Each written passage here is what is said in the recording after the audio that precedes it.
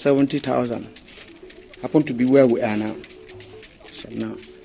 But the good thing about it is that we will not wait for another five years to come and review.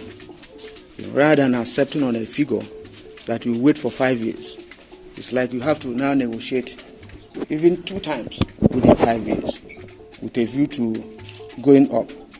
President Bola Tinubu has approved a minimum wage of 70,000 naira for Nigerian workers and committed to reviewing the national minimum wage law every three years.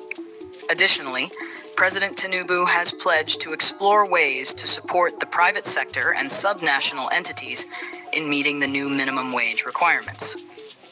These decisions were announced by President Tinubu during a meeting with leaders of the Trade Union Congress, TUC, and the Nigeria Labor Congress, NLC, on Thursday in Abuja, marking the second meeting between the parties within a week. The labor leaders praised President Tinubu for his paternal gesture. Moreover, the president promised to use his discretionary powers to address the demands of university unions concerning four months of unpaid salaries.